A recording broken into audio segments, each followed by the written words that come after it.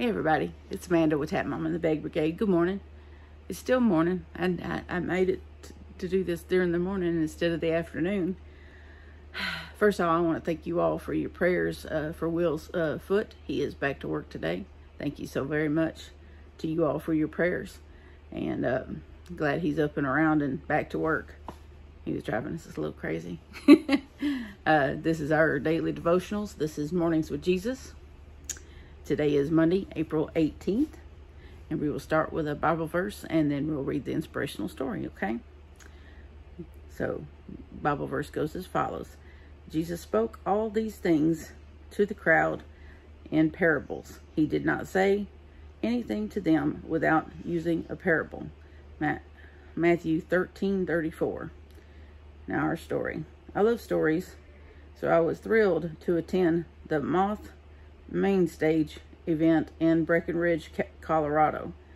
The Moth is a nonprofit organization dedicated to the craft of storytelling.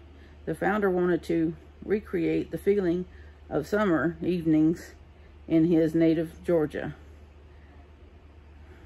When moths were attached to the light on the, on the porch where he and his friends would gather to tell spellbinding tales.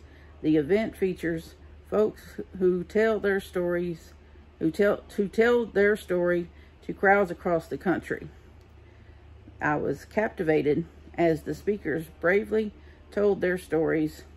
One young man had almost died while guiding tourists into on, on a glacier trek in Alaska.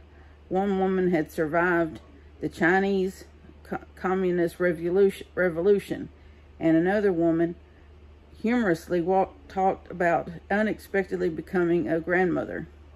You could hear a pin drop while they spoke.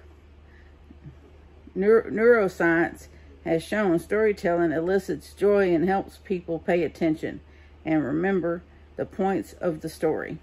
I love how Jesus already knew the power of storytelling he told the best stories.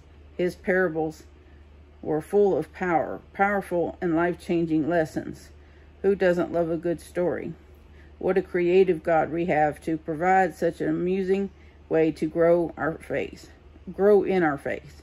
Listening to the moth speakers reminded me of Jesus' ability to tell fascinating tales that in, impart priceless wisdom.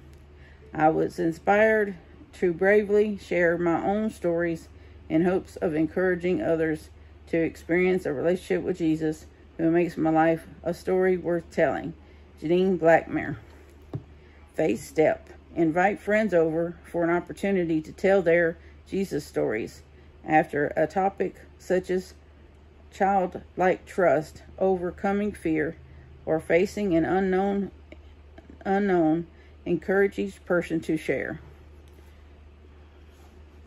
I like that. I like that very much. So do you have a story you'd like to share? I'm sure we all do.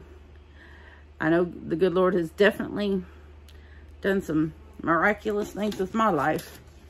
I surely didn't think it was worth living in, in several instances, and he definitely showed me it was worth living. So, as usual, if you have any special prayer requests, please feel free to leave them in the comments. Also, feel free to email me and I will most most definitely pray for you. Uh, if you have something special that you you know don't want to share with everybody in the comments, you can always email me privately, and I'll be glad to uh, pray for you uh, discreetly if that's what you need. Um, I thank you all for tuning in. Uh, God bless you, and I'll see you on the next one. Bye now.